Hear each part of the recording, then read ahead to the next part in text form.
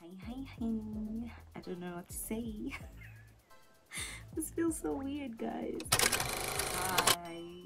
I'm doing a sit down video up here, up here, East Coast baby. well, I'm not an East Coast baby anymore. I am um, a proudly South African babe.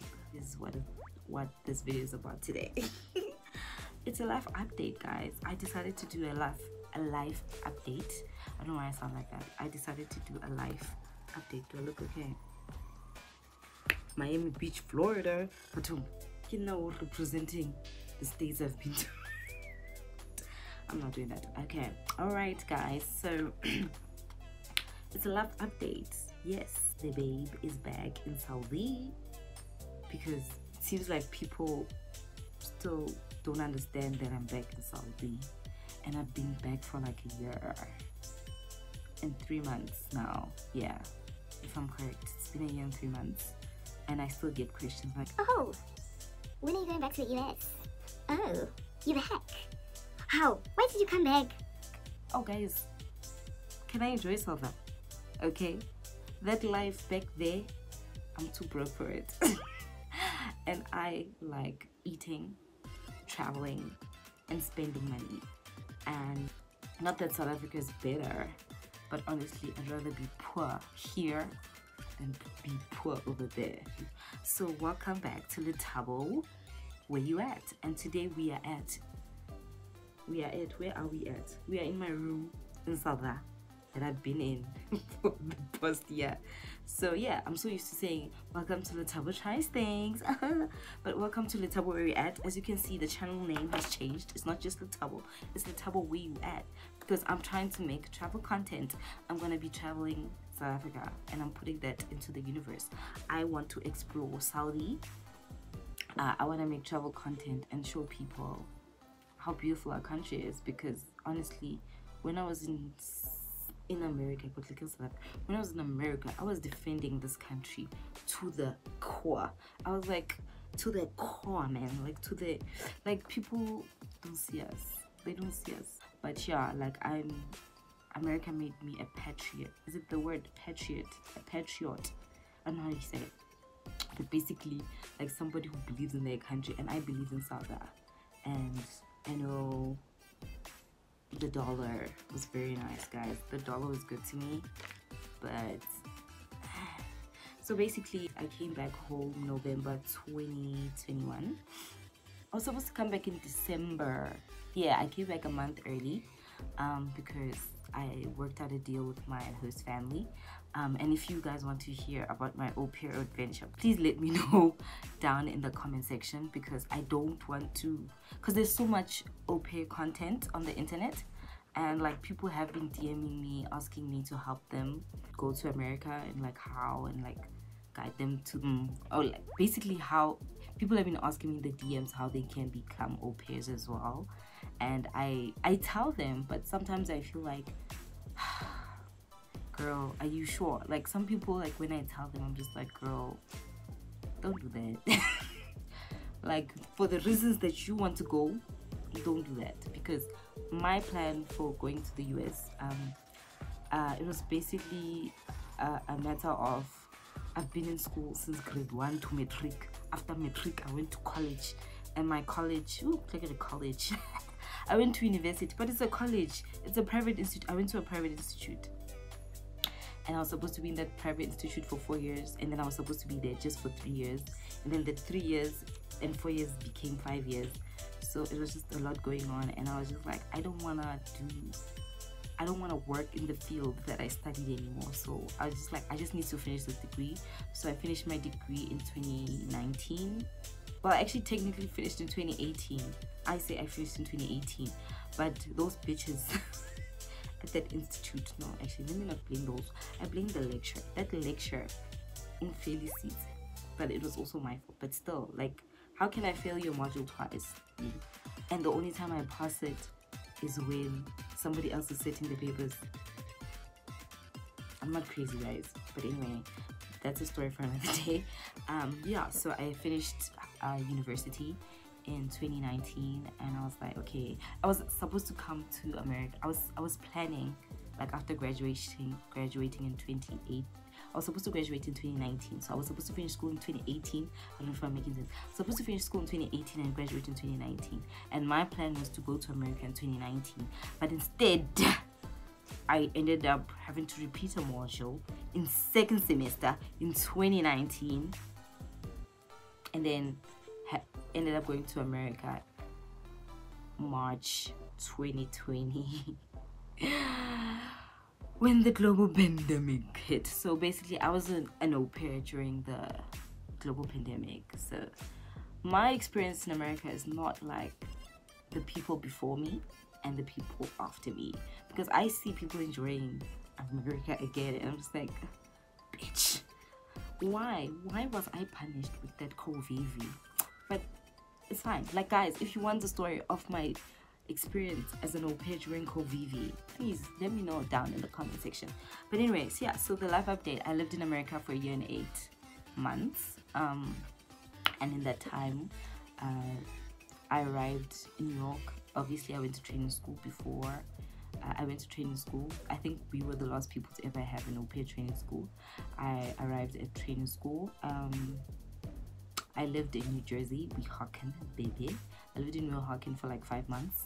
And I was like, nah, I can't live with these people. I was like, no. I was like, I'm choosing myself. And bear in mind, I'm not somebody who complains, guys. Like, I will suffer through everything. And I even told them, like, I was like, oh, let's try again. And then after I agreed, I was like, no, you need to stand up for yourself, girl. Speak out for yourself. I was like, no, sorry, I can't. Um, and then I left that family. I moved to New York, New Rochelle, Westchester area loved it there. I lived in a jewish community lived with a jewish family. Guys i have stories about those families. Anyway the first family in the yeah. And then i lived in new rochelle from like i think july until the end of february 2021 um but i left my jewish family around i think in december. And then i moved with a black family still in new rochelle. Um, so that's my third family by the way and then my second year was starting on the 1st of March. And then 1st of March I moved uh, with my last host family which was my fourth family. And I lived in I went back to Jersey but this time I was in Cresskill New Jersey which was like what 30 30 20 minutes from New York. Um, New York City not New York State New York City. Oh and like when I lived in New Jersey in Weehawken I was like five minutes ten minutes but it's fine guys. It was really beautiful in Weehawken I just I couldn't stand the family. Um it's really bad. Um yeah so my last nine months in the US I spent it in Cresskill New Jersey. I lived with a Scottish family finally. So basically for me to enjoy my au pair I had to live with people that weren't Americans. And I don't know what that says about me maybe that's why i'm just like mm, bye america. But anyway yeah so i stayed with that family and i started traveling um so the initially this channel was supposed to be like my video diary. Um i was gonna record every moment every adventure in the us but guys like i said i lived with four families so things were not always good and happy and sunshine and roses. I had a life only on the weekend so i was fortunate enough like unlike most au pairs um i never worked weekends. Like i never worked weekends. Like that was i negotiated the thing. So i'll also like also another thing. If you want me to make a video about things that i feel like au pairs should ask for or like or ask host families before they move in with them i'll make that video. Like what you should ask your host family before you move in with them. I'll do a video about that because like also i don't want to just do pair content because I want to show the beauty of South Africa. I also want to travel other places of other places in the world. Um, so this is going to be like a travel channel. And the reason why I decided to make a live update is because I was strongly considering going back into that au pair world um, in Europe um, because one of my friends, Nashifa, just came back though, um, was au pairing in Europe, and I was just like, let me but like in europe i wouldn't i wouldn't i wouldn't have been making as much money as i did when i was in the us because in the us i got paid weekly and in europe you get paid once a month and it's actually less So I wasn't sure about that. Like it didn't sit right with me. That amount when I converted it to rent. Not that converting the dollars that I got every week to rent helped me when I got that side because wow, life in America is expensive, guys. And the reason why I'm giving also this life update is so that I can refer people to this video every time they ask me why did you come back to South Africa? Guys, it's expensive that side. Like my plan was to take a gap year. It was a, to take a gap year and I wanted to travel. I wanted to save. I wanted to experience. And I was only making $200. It looked it looked like a lot when I converted it to rand. And then the reality of that life that side hit me it hit me five months later because obviously it was COVID when I first got there. So I was making extra actually. I was making more money um, than the normal au pair. So I had money saved up. But when I finally started spending that money, it was not enough um, for me to save, send back home and save and also spend it here and save and also travel. No, it was all a dream. This is 18 Rand and this is one dollar. It's 18 Rand guys. It doesn't even buy a loaf of bread in America. This one dollar, this is 18 rand. This is 18 rand. It cannot even buy a loaf of bread in America. It cannot buy a loaf of bread. So you can imagine what I went through, like things that I don't miss about America. I'll do a video, I think, a part two of things that I miss. But right now, I'm just gonna tell you that I'm back in Saudi. I'm happy to be home. It's been hard. Um, 2022 was my retirement year because Child, that year and eight months was long for me. And the money I saved, I used it as my retirement money. Honestly, 2022, I was in retirement. And my only goal for 2022 was go to Cape Town for my birthday. And I succeeded. And to spend my money. And I spoke myself shame last year. Put myself shoes, clothes. I ate. this love update is basically to say I'm broke now. Um, I all my savings finished. I finished all my dollars. Um, FNB bank charges ghetto. Ugh that's the one thing I miss about America. I did not have bank charges. So here, because I use FNB, I have bank charges. So they chow my money before I can chow it. But anyway, that's not the point. like, I enjoyed my retirement money, guys. Like, I was so, I was so furious. Was that a, that's not a word. I'm making words up. But guys, like, I spent my money. Like, I was even paying I was like those one month where I bought my family groceries with my mom groceries. I paid for electricity. I bought my niece and nephew's toys. I bought my sister-in-law's sneakers. I bought my sister whatever she wanted. I bought my sister like I was able to buy people stuff and spoil them stuff. Like I spoiled my family. I went out for like coffees. I bought lots and lots of iced coffees. What else did I do? I went out. I went to Sandton with my friends in January. Like I was I was enjoying just not having to ask people for money. But then things started getting shaky in like August. Is it August? August, September, August. August. August. August, September, October. Yeah, those three months, man, I went into a depression. Um, my money wasn't finished, but it wasn't a lot left um, and then I thought I would have accomplished a lot more um, but also like I was just I just became so lazy because I used to work every day like 10 hours every day in America to coming home and like because I remember the first month I got home Shem I was cooking, I was cleaning. I was like, Mommy, do you want tea? Daddy, do you want tea? Is there anything else I can get for you? Like, I was enthusiastic. I was like, oh, do you want me to do your laundry? Love that because that's what I was doing, you know. Like I was like, started missing going out for daily walks, and then I was like, mm, let me walk around my neighborhood, and I was like, mm, I'm gonna run into people, and then like I'm gonna be harassed by men. So it was just like, mm, I can't do that. Like, and there's no trees and shades, and I can't wear my earphone because somebody might steal it. Like it was just like a lot of readjusting, like learning to lock the doors wherever I go. Like I never used to lock my car doors. I, I shouldn't be saying things like that out loud. But I stopped locking my doors. I never locked the house. Now I have to lock the house. And then like the worst thing happened also. Um, I think the end of September. Um, robbers hmm, came into our house and robbed us at gunpoint and took our laptops my other phone i begged for this iphone guys because it's the only thing i have of america yeah they took my dad's laptops and they took the rest of my savings.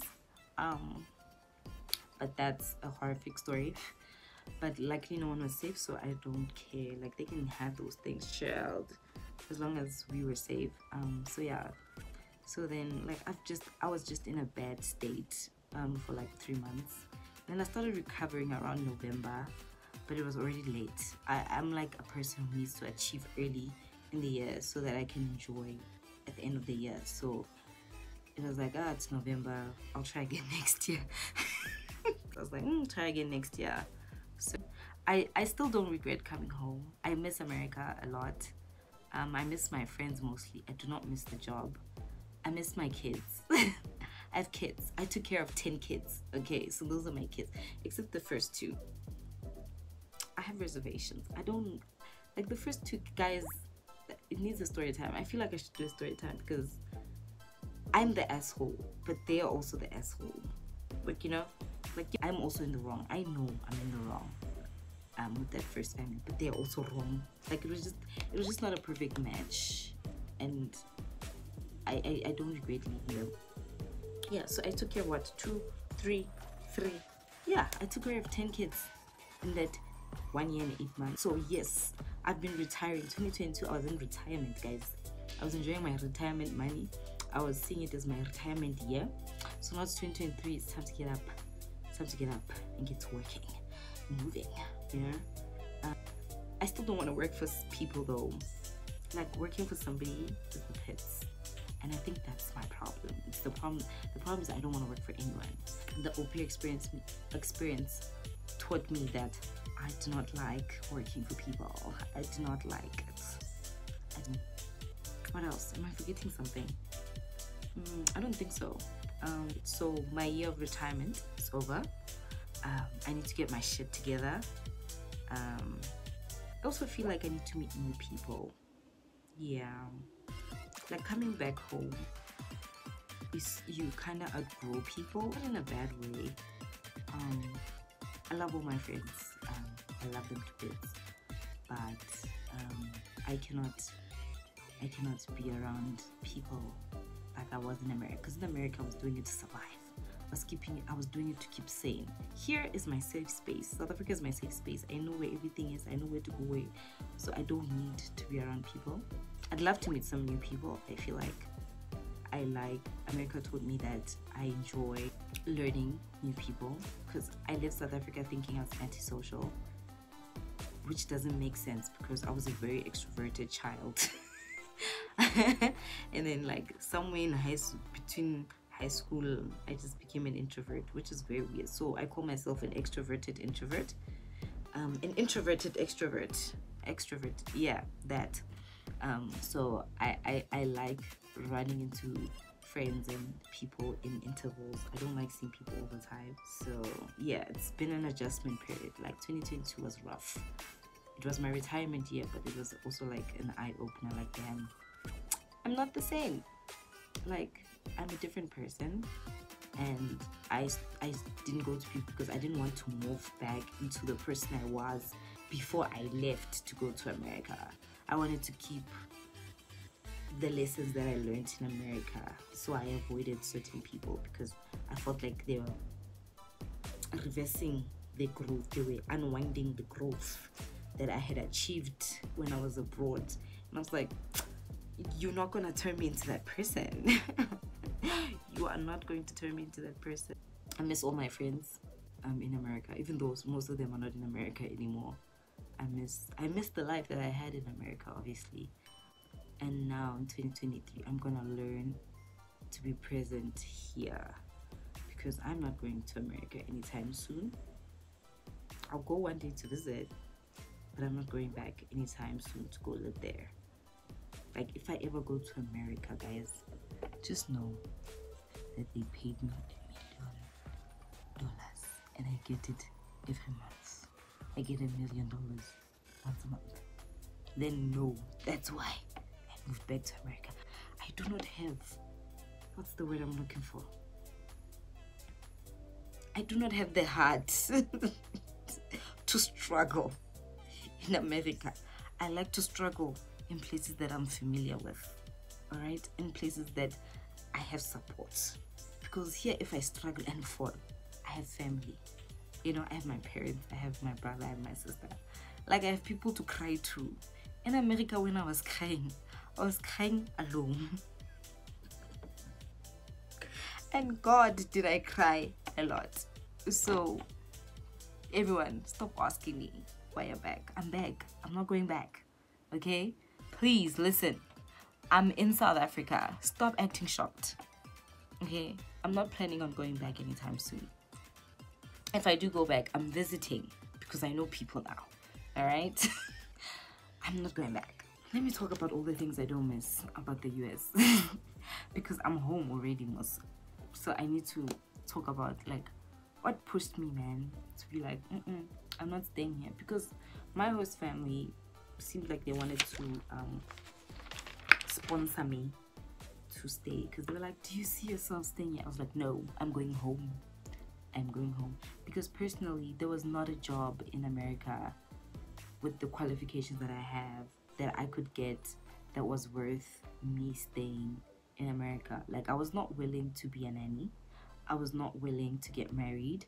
I was not willing to look after old people like like like the job that stayed behind to do in America. No offense to you guys, shout out to you, power to you guys. Hustle, do that thing. I personally am not that girl. I cannot. Um, my life here is I'm not a rich girl, but my life is soft.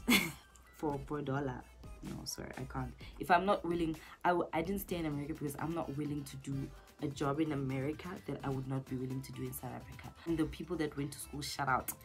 Um, like my friends, two of my friends stayed because they're in college. Love that for them. Personally, I am not an academic. I'm smart. I think I'm smart, but I'm not an academic. I cannot, I cannot. Also, like being tied to somebody, like finding a sponsor, and then now you have to perform, also look after their kids. I can't. If I'm going to school, I need to focus on school. I'm I like doing things at this many things at the same time, but there needs to be one thing that I'm focused on. I can't be, I can't have two important things. Like school is important, so I need to focus on school. I can't be looking after your kids, making lunches, and all the other things. I couldn't do it. So yeah, hope you enjoyed this video. It's starting to get personal, so let's end it before I start rambling and ranting further, and then I'll make a separate video about my OP experience that one has to be a story time because child i don't know if i'm good at telling stories but i feel like i'm ready now. I'm not as traumatized as i used to be. I've been home for a year and three months. I think i'm ready to talk. So yeah. Thanks for watching. Hope you enjoyed. See you in the next video